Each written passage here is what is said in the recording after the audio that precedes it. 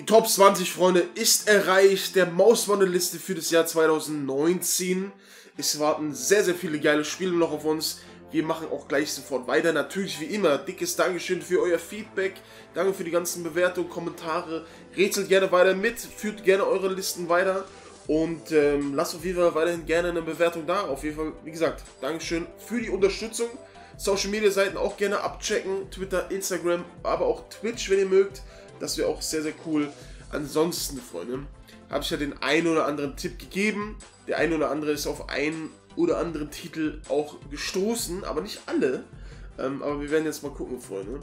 Und zwar fangen wir natürlich an mit Platz 20. Top 20, Junge. So, der erste Titel ist Metro Exodus. Das ist bei mir auf Platz 20. Und da war ja auch der Tipp recht deutlich. Da kamen sehr, sehr viele drauf, verhältnismäßig. Und ähm, ja, Freunde, der nächste Titel der Metro-Reihe, der dritte Teil schon. Alles ganz, äh, das Ganze basierend ja auf einer Buchreihe, die ich noch nicht gelesen habe. Kann ja vielleicht mal jemand reinschreiben, ob die wirklich so geil sind. Bin mal sehr gespannt.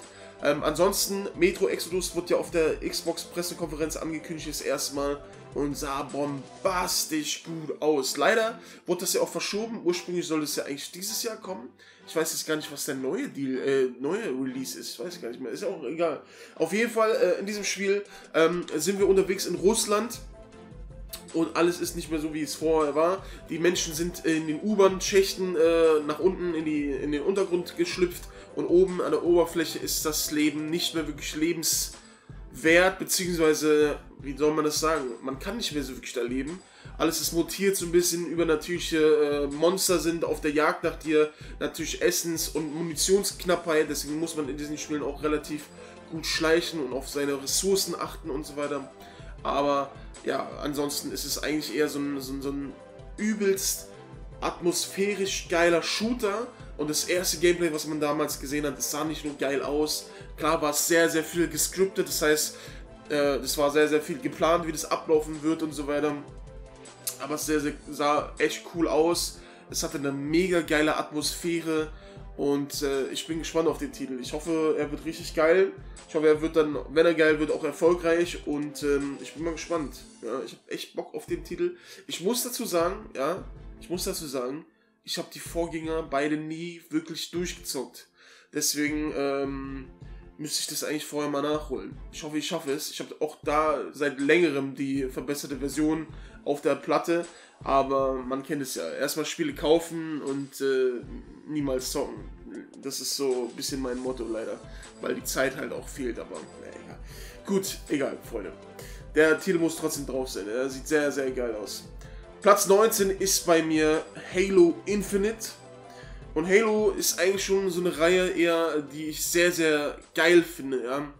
Aber äh, Halo Infinite ist bei mir aus mehreren Gründen nur auf Platz 19, in Anführungsstrichen. Unter anderem, äh, weil man bisher noch nicht wirklich weiß, was das eigentlich für ein Spiel wird. Ja, normalerweise müsste ja jetzt der sechste Teil kommen, aber es heißt Halo Infinite. Geht es wieder back to the roots? Wird es äh, ein äh, Battle Royale-Ding oder so? Also es könnte ja alles im Moment sein, gefühlt. Äh, und der erste Trailer ist halt absolut nichts sagen.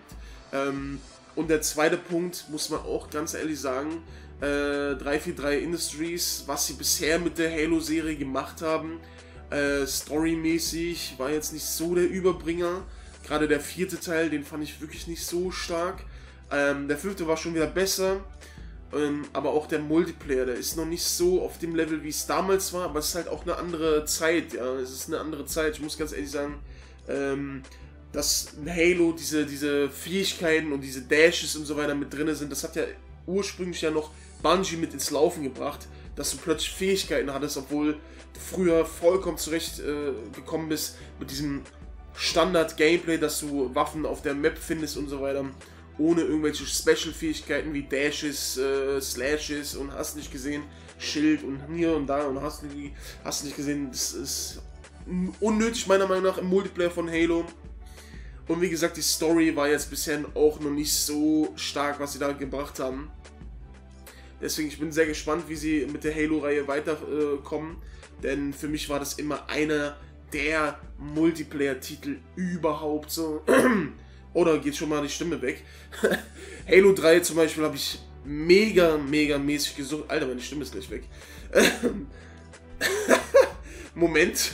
So, Halo 3 habe ich damals mega gesuchtet, ja. Richtig, richtig krass gesuchtet. Das war einer der Multiplayer-Spiele, die ich am meisten in meinem Leben gezockt habe. Und ähm, da war das einfach, das war eine richtig geile Zeit so. Das hatte grundsätzlich erstmal coole Maps. Äh, und was ich auch immer sehr gelobt habe, ähm, wie sie damals mit den selbstgebauten Maps der äh, Fans umgegangen sind. Dass da teilweise wirklich selbstgebaute Fan-Maps mit in die normale Map-Rotation kamen, um noch mehr das Ganze zu erweitern. Ja, das wurde später auch übernommen. Ja? Das, so ist es ja jetzt nicht. Es gab auch so eine äh, geile Schmiede in Halo 5. Und da wurde auch vieles Geiles gebaut.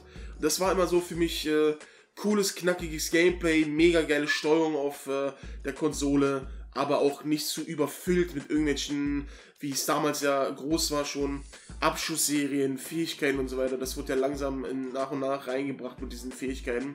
Und das habe ich jetzt nicht so begrüßt. Deswegen mal gucken, wie sie damit umgehen. Halo ist immer noch eine Riesenmarke für Microsoft. Die müssen sie auf jeden Fall wieder richtig, richtig stark zurückbringen. Und äh, das muss äh, dem Namen gerecht werden, auf jeden Fall.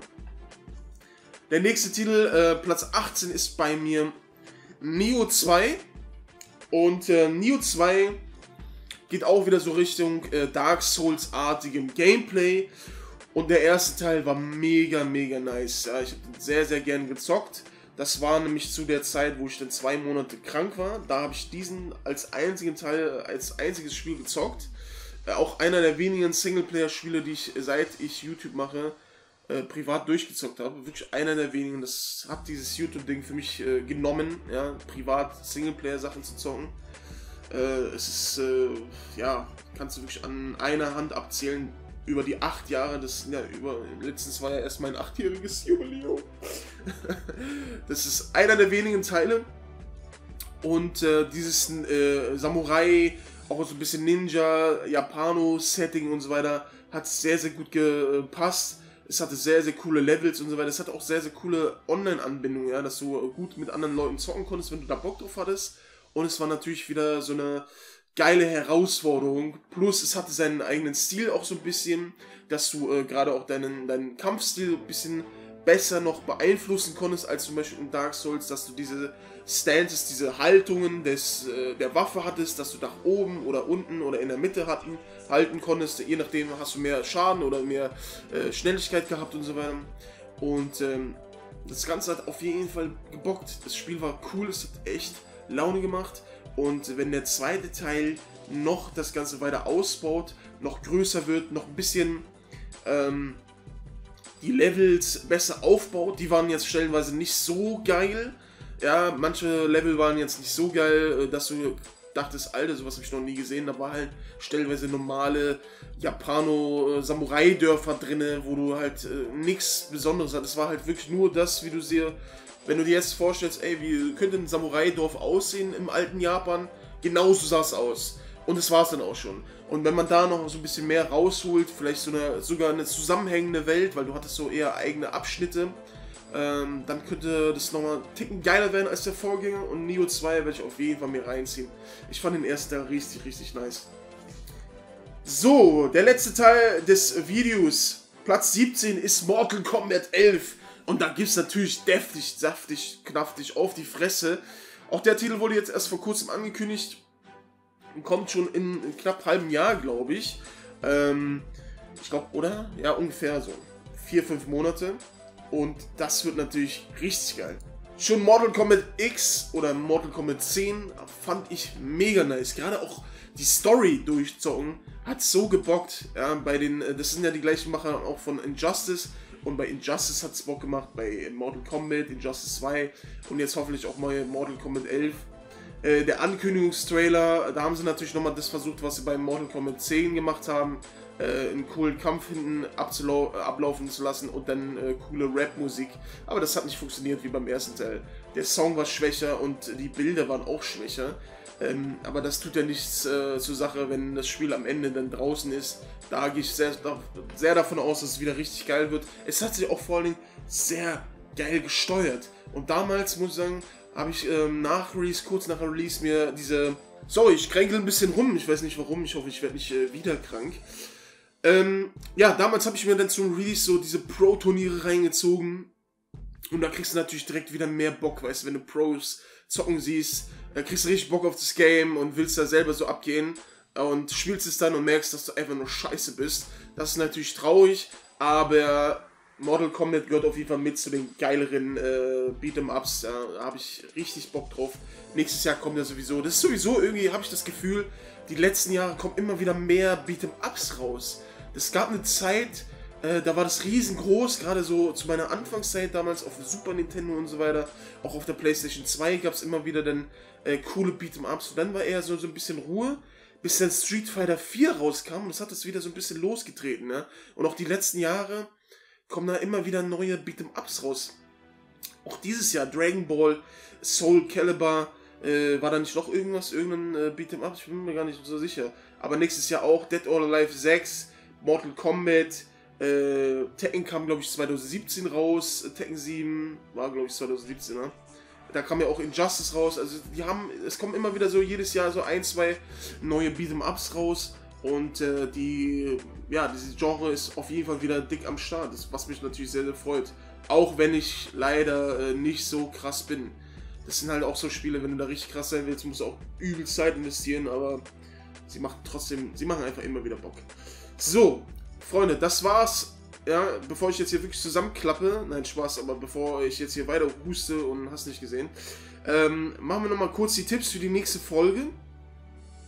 Es wird Zombie, äh, Zombie, vor allem Zombie, es wird zombiehaltig für zwei Games. Ähm, es wird äh, die neue Rollenspielhoffnung, so ein bisschen für mich. Und es wird äh, ähm, übernatürlich. Wir spielen etwas Übernatürliches äh, und äh, müssen uns aufleveln. Deswegen, damit wir noch übernatürlicher werden.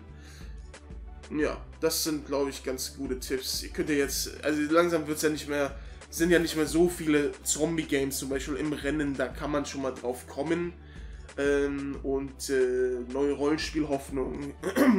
ja, ja, ist ein bisschen vage, aber da kann man vielleicht auch drauf kommen. Und der andere Titel, da bin ich mal gespannt, ob ihr darauf kommt. Also man selber ist übernatürlich und wird immer übernatürlicher. Mal gucken. So, meine Stimme versagt schon wieder.